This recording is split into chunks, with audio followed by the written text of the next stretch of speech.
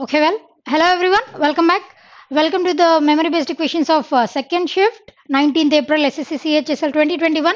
Let's have the first one. See, who is the ICC Women Player of the Year 2020?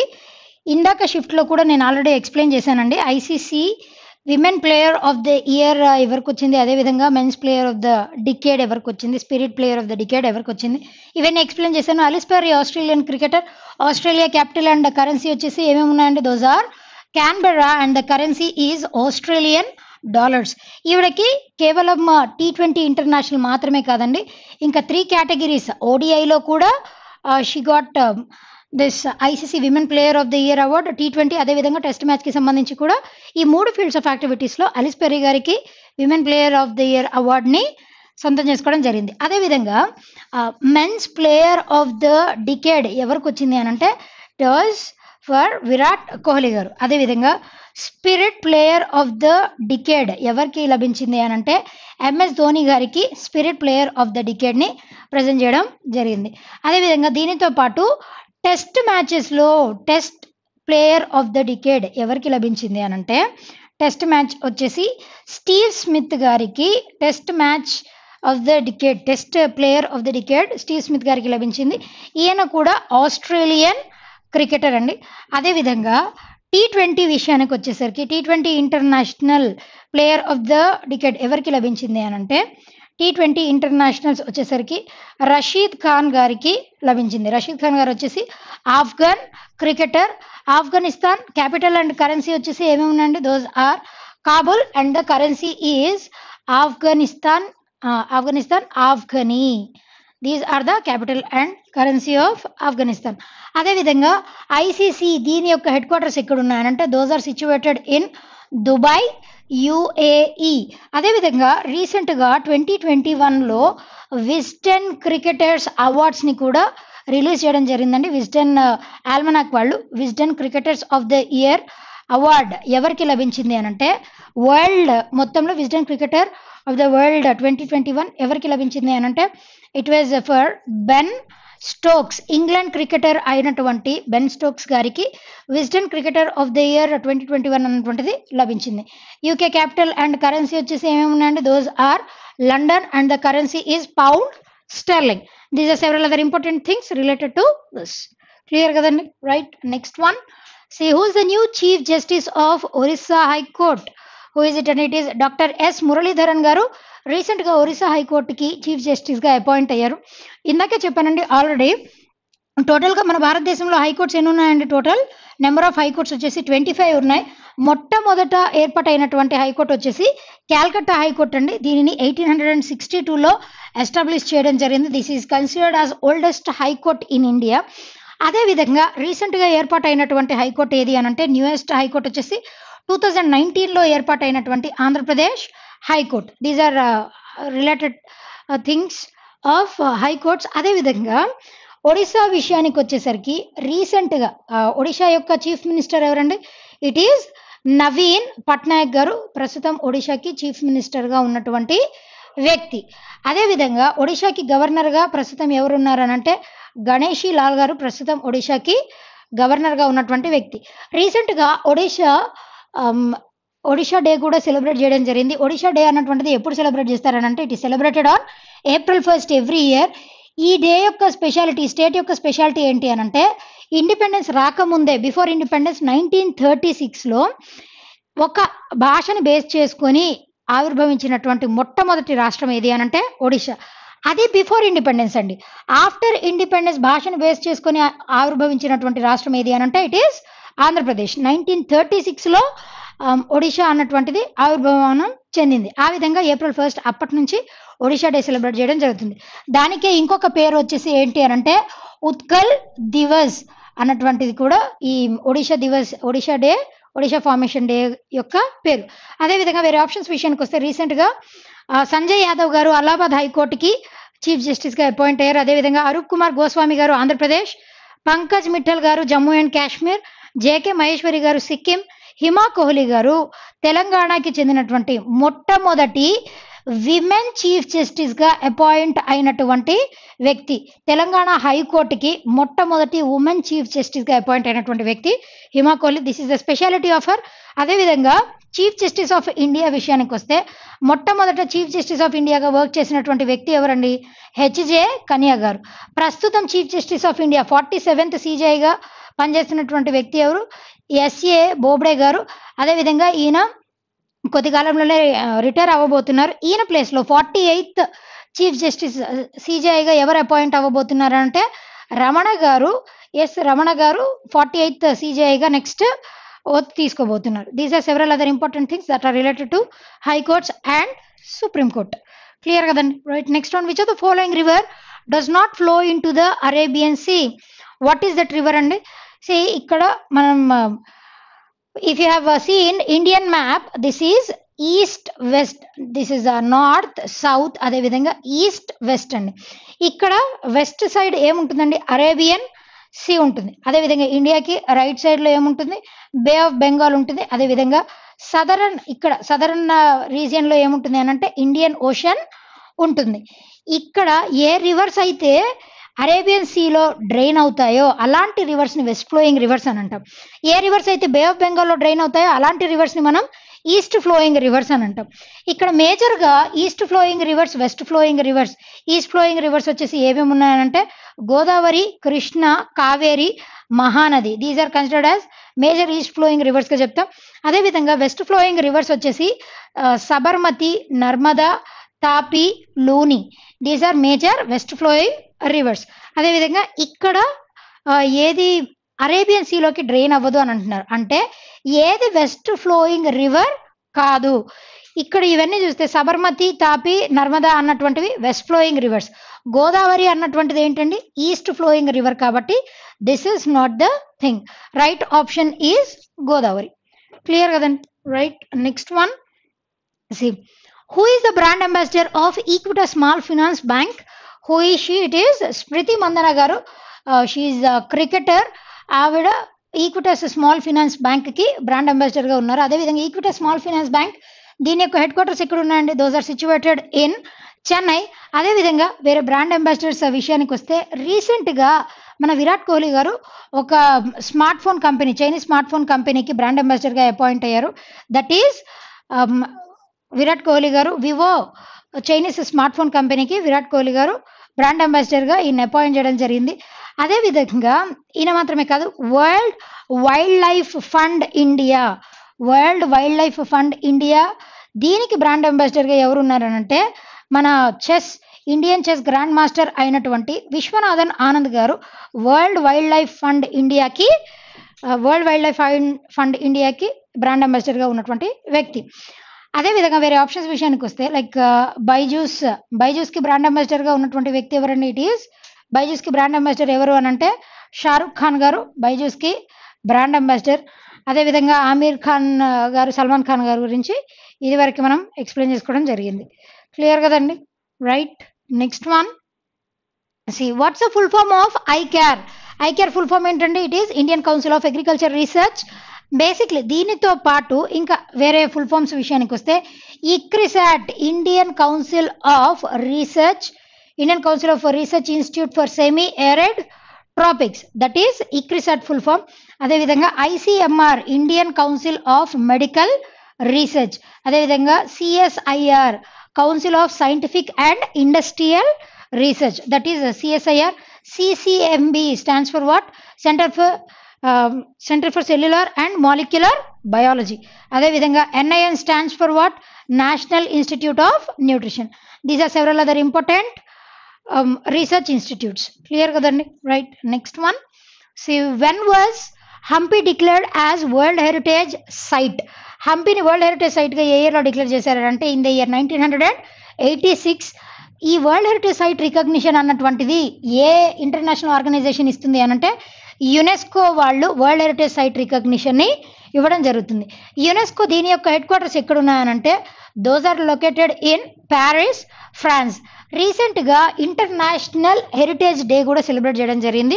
International heritage day వచ్చేసి ఎప్పుడు celebrate చేస్తారనంటే it was celebrated on April ఎయిటీన్త్న international heritage day celebrate చేస్తాం. దీనికి ఇంకొక పేరు ఏంటి అని అంటే international day of monuments and sites. దీనికే ఇంకొక పేరు. అది ఏప్రిల్ ఎయిటీన్త్న సెలబ్రేట్ చేస్తాం. అదేవిధంగా దీనిని ఆర్గనైజ్ చేసేది ఈ డేని ఆర్గనైజ్ చేసేది ఏది అని అంటే international council of monuments and sites. ఈ ఆర్గనైజేషన్ దీని యొక్క హెడ్ క్వార్టర్స్ కూడా those are situated in Paris France. That is UNESCO and అదేవిధంగా ఈ వరల్డ్ హెరిటేజ్ సైట్ రికగ్నిషన్ అనేటువంటిది రకరకాలుగా ఉంటుంది. అంటే ఒక ప్లేస్ కానీ మాన్యుమెంట్కి కానీ. అలా యునీక్గా ఉంటే అలాంటి వాటికి UNESCO world heritage site recognition ఇస్తాం. జస్ట్ లైక్ మనం వస్తువులకి కల్టివేటెడ్ క్రాప్కి కానీ వస్తువులకి ఎలాగైతే GI tag geographical indication tag ఇస్తామో ఇక్కడ ప్లేసెస్కి మాన్యుమెంట్స్కి సైట్స్కి అలాంటి వాటికి వరల్డ్ హెరిటేజ్ సైట్ రికగ్నిషన్ ఇస్తాం. దాని ద్వారా వాటిని ప్రిజర్వ్ చేయాలి. మన ట్రెడిషన్ దాని నెక్స్ట్ ఆఫ్ స్ప్రింగ్స్కి కూడా కన్సర్వ్ చేయాలి అన్నటువంటి ఉద్దేశంతో ఈ రికగ్నిషన్ ఇవ్వడం జరుగుతుంది. ఇది మాత్రమే కాదు ఆర్ట్స్కి సంబంధించి కూడా world heritage site intangible recognition అన్నటువంటిది ఇస్తుంది యునెస్కో అదేవిధంగా నైన్టీన్ ఎయిటీ త్రీలో UNESCO world heritage site recognition పొందినటువంటి సైట్ ఏది అని అంటే అజంతా కేవ్స్ మహారాష్ట్రలో ఉన్నటువంటి అజంతా కేవ్స్ వచ్చేసి నైన్టీన్ ఎయిటీ త్రీలో వీటికి వరల్డ్ హెరిటేజ్ యునెస్కో యొక్క వరల్డ్ హెరిటేజ్ సైట్ రికగ్నిషన్ లభించింది. అదేవిధంగా నైన్టీన్ నైన్టీ త్రీలో హుమాయూన్ యొక్క టూంబ్ మన మొఘల్ రూలర్స్లో వన్ ఆఫ్ ద రూలర్స్ అయినటువంటి హుమాయూన్ యొక్క టూంబ్ ఢిల్లీలో ఉందండి. ఆ Humayun's tomb which is in Delhi ఇది కూడా వరల్డ్ హెరిటేజ్ సైట్ రికగ్నిషన్ పొందింది. అదేవిధంగా దీనితో పాటు టూ థౌజండ్ త్రీలో మధ్యప్రదేశ్లో ఉన్నటువంటి భీంబెటక రాక్ షెల్టర్ కేవ్స్ అన్నటువంటి వాటికి కూడా వరల్డ్ హెరిటేజ్ సైట్ రికగ్నిషన్ అన్నటువంటిది లభించింది. దీని తర్వాత లైక్ టూ థౌజండ్ ఫోర్టీన్ ఇయర్లో గుజరాత్లో ఉన్నటువంటి Rani ki Vav this is nothing but stepping well అని అంటాం ఆ రాణికి వావ్ అన్నటువంటి దానికి టూ థౌజండ్ ఫోర్టీన్లో వరల్డ్ హెరిటేజ్ సైట్ రికగ్నిషన్ అన్నటువంటిది లభించింది. These are several other important things that are related to world heritage site recognition right next one see Alan Borges cricketer belongs to which country who is and it is he belongs to the country New Zealand what is the capital and currency of New Zealand అండి it is Wellington and the currency is New Zealand dollar these are the capital and currency of New Zealand అదేవిధంగా um, ఈ Elon Borges cricketer అన్నటువంటి వ్యక్తి రీసెంట్గా చనిపోవడం జరిగింది ఈయన first class క్రికెట్కి చెందినటువంటి ఎక్కువ కాలం బతికినటువంటి వన్ ఆఫ్ ద క్రికెటర్స్లో ఈయన పేరు పేర్కొనడం జరిగింది. అదేవిధంగా శామ్ క్యానన్ రీసెంట్గా కోవిడ్ నైన్టీన్ వల్ల కాదండి but because of cardiac arrest ఈయన చనిపోవడం జరిగింది. అదేవిధంగా శామ్ గ్యానన్ ఆస్ట్రేలియన్ క్రికెటర్. అదేవిధంగా మెహిల్ దిన్షా ఇరానీ ఇండియన్ క్రికెటర్. అదేవిధంగా Joey Benjamin England fast bowler. These are several other things clear కదా right next one see under which ministry Poshan Abhiyan scheme is attached with Poshan Abhiyan scheme అన్నటువంటిది ministry of women and child development కిందకు వస్తుందండి. ఈ పోషన్ అభియాన్ అన్నటువంటి స్కీమ్ని ఏ ఇయర్లో launch చేశారంటే it was launched in the year two thousand eighteen ఈ scheme యొక్క ప్రధాన ఉద్దేశం వచ్చేసి ఏముంది అని అంటే స్టంటింగ్ అదేవిధంగా మాల్ న్యూట్రిషన్ స్టంటింగ్ని రెడ్యూస్ చేయాలి. మాల్ న్యూట్రిషన్ బ్యాడ్ న్యూట్రిషన్ని తగ్గించాలి. అదేవిధంగా ఎనీమియా ప్రెగ్నెంట్ విమెన్లో అదేవిధంగా అడాలసెంట్ గర్ల్స్లో ఎనీమియా బ్లడ్ లెస్లెస్ని బ్లడ్ లెస్నెస్ దానిని తగ్గించాలి అన్నటువంటి ఉద్దేశంతో ఈ ఈ మూడు ఉద్దేశాలతో టూ థౌజండ్ ఎయిటీన్లో పోషణ్ అభియాన్ అన్నటువంటి స్కీమ్ని లాంచ్ చేయడం జరిగింది. దీనిని నేషనల్ న్యూట్రిషన్ మిషన్ అని కూడా దీనికే మరొక పేరు. అదేవిధంగా వేరే స్కీమ్స్ డిఫరెంట్ డిఫరెంట్ స్కీమ్స్ విషయానికి వస్తే like Swachh Bharat Abhiyan last um, first షిఫ్ట్లో చెప్పడం జరిగిందండి. స్వచ్ఛ భారత్ అభియాన్ టూ థౌజండ్ ఫోర్టీన్లో లాంచ్ చేయడం జరిగింది.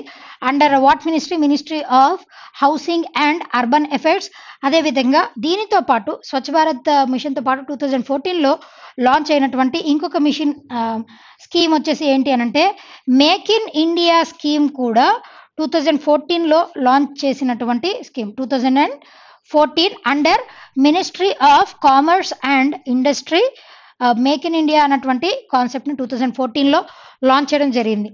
Um, ఇది మాత్రమే కాదండి ఇంకా టూ థౌజండ్ ఫిఫ్టీన్లో లాంచ్ చేసినటువంటి రకరకాలైనటువంటి స్కీమ్స్ ఏంటి అని అంటే Ujala scheme Unnat Jyoti um, Unnat Jyoti by providing affordable LEDs to all ఇది కూడా చెప్పాను. It comes under ministry of power it was established in the year two thousand and it started in the year two thousand and fifteen దీనితో పాటు two thousand ఫిఫ్టీన్లో like Ujala స్కీమ్తో పాటు and digital India scheme కూడా two thousand ఫిఫ్టీన్లో launch చేయడం జరిగింది. Digital India scheme comes under MeitY ministry of electronics and information technology. అదేవిధంగా స్వాస్థ్య సురక్ష ప్రధానమంత్రి స్వాస్థ్య సురక్ష యోజన స్వాస్థ్య సురక్ష యోజన ఈ స్కీమ్ కూడా టూ థౌజండ్ ఫిఫ్టీన్లో లాంచ్ చేయడం జరిగిందండి. ఈ స్కీమ్ వచ్చేసి it comes under ministry of health and family welfare అదేవిధంగా వీటితో పాటు టూ థౌజండ్ సిక్స్టీన్లో Ujjwala scheme LPG cylinders provide చేయడం అదేవిధంగా it comes under ministry of petroleum and natural gas దీనితో పాటు రీసెంట్గా ట్వంటీ ట్వంటీలో ఇంట్రడ్యూస్ చేసినటువంటి థింగ్స్ విషయానికి వస్తే ట్వంటీ ట్వంటీలో పిఎం స్వానిధి అన్నటువంటి దానిని ఇంట్రడ్యూస్ చేశారు. PM Svanidhi it stands for Pradhan Mantri street vendors Atmanirbhar Nidhi. దీనిని ట్వంటీ ట్వంటీలో లాంచ్ చేయడం జరిగింది. దీనితో పాటు పిఎం కేర్స్ ఫండ్ అన్నటువంటిది కూడా ట్వంటీ ట్వంటీలో లాంచ్ చేశారండి. ప్రధానమంత్రి citizens assistance and relief in emergency situations. ప్రధానమంత్రి citizens assistance and really relief in emergency situations. ఈ పిఎం కేర్స్ ఫండ్ అన్నటువంటి దానిని కూడా ఈ పిఎం కేర్స్ ఫండ్ అన్నటువంటి దాన్ని ట్వంటీ ట్వంటీలో క్రియేట్ చేయడం జరిగింది. ఈ ట్వంటీ ట్వంటీలో క్రియేట్ అయినటువంటి ప్రధానమంత్రి ఈ పిఎం కేర్స్ ఫండ్ అన్నటువంటిది it comes under ministry of home affairs కాకపోతే దీంట్లో ఎక్స్ అఫీషియో ట్రస్టీస్గా ఎవరెవరు ఉంటారనంటే ప్రధానమంత్రి గారితో పాటు డిఫెన్స్ మినిస్టర్ ఎక్స్ అఫీషియో చైర్పర్సన్గా ఉంటారు. క్లియర్ కదండి? Right next one same youngest governor of India youngest governor of India ఎవరండి? It was Swaraj Kaushal garu.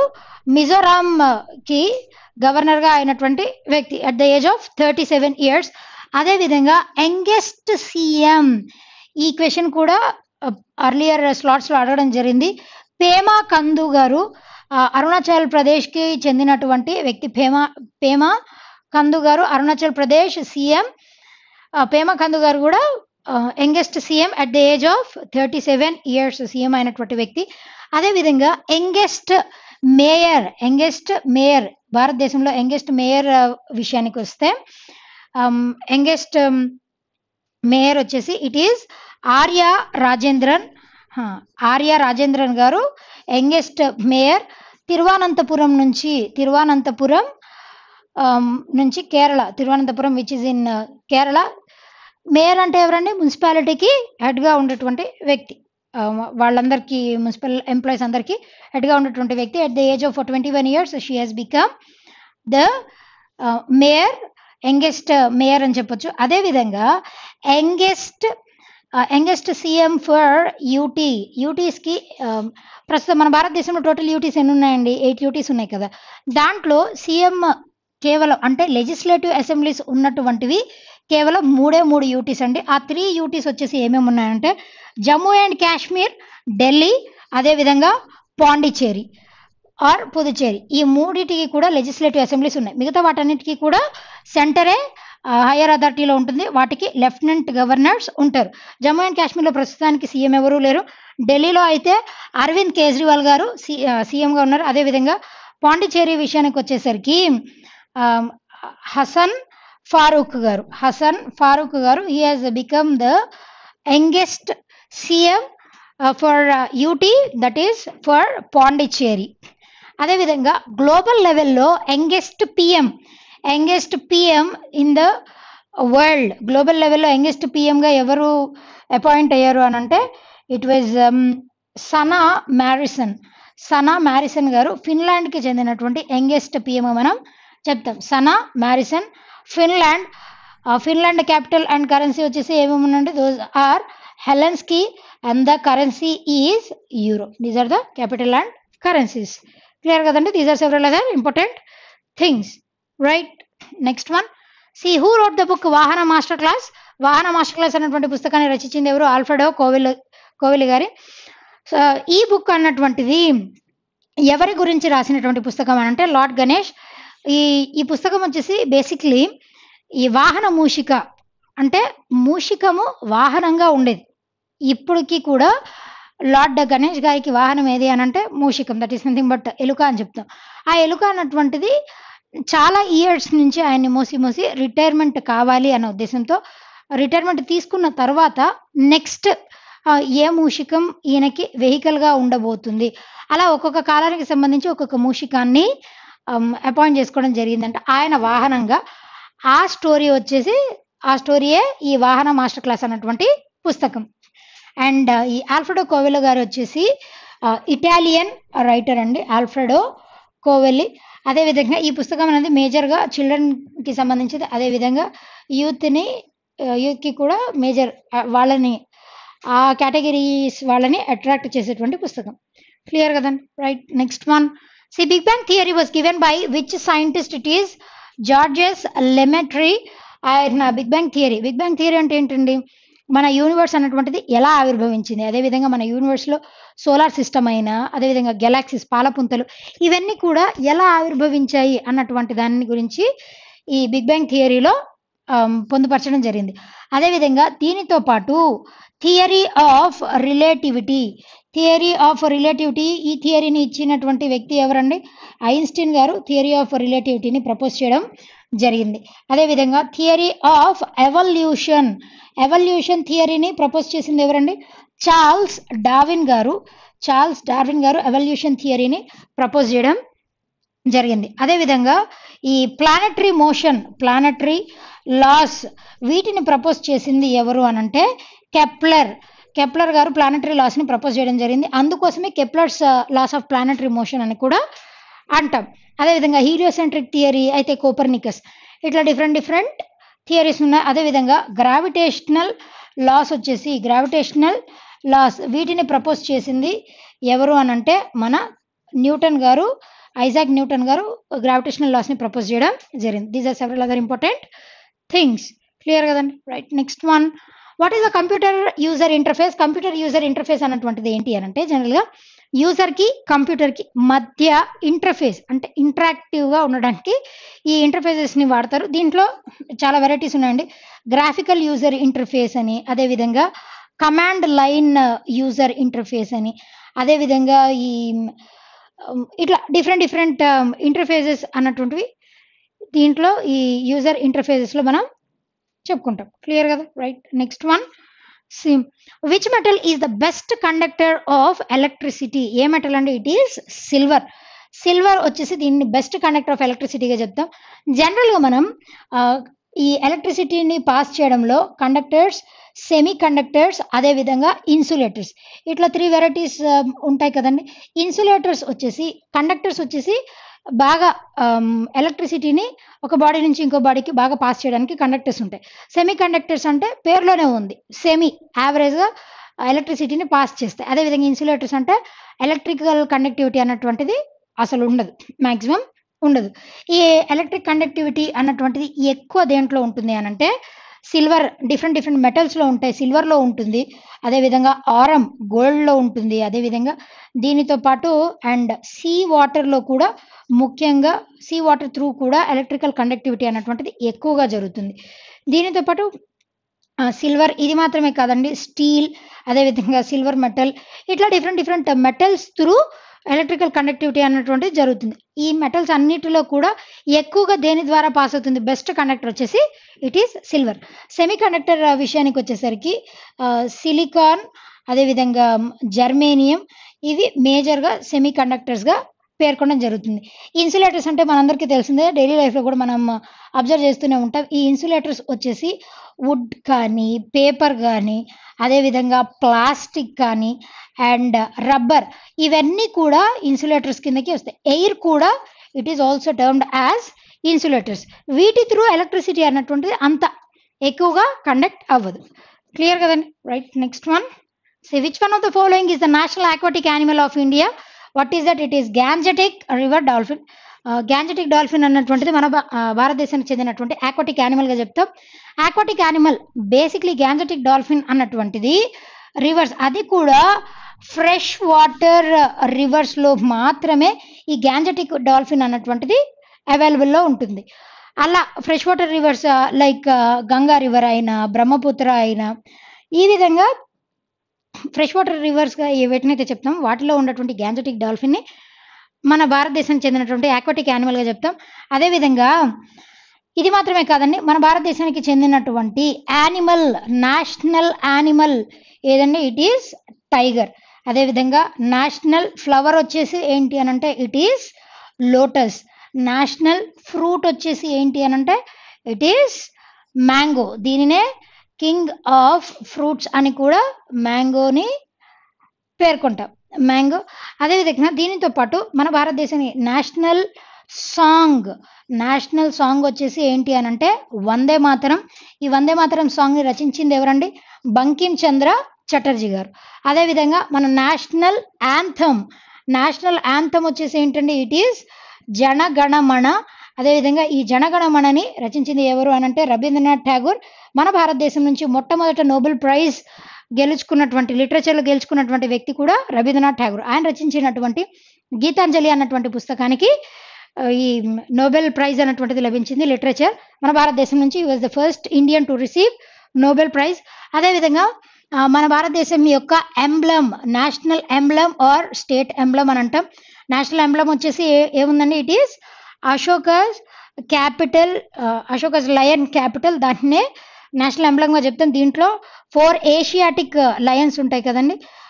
అదేవిధంగా దీని యొక్క మోటో వచ్చేసి ఏంటి అని అంటే సత్యమేవ జయతే. ఇది కూడా ఇంపార్టెంట్ సత్యమేవ జయతే అన్నటువంటి కాన్సెప్ట్ని ఏ ఉపనిషత్ నుంచి తీసుకున్నామనంటే ముండక ఉపనిషద్.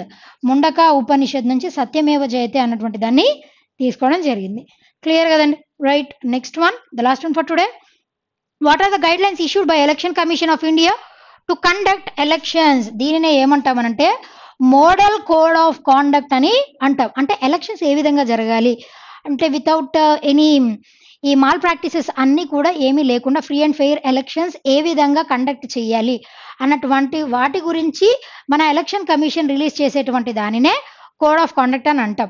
దాని ప్రకారం ఈ ఎలక్షన్స్ జరిగే ఎన్ని డేస్కి ముందు క్యాంపెయిన్ అన్నటువంటి దానిని ఆపేయాలి.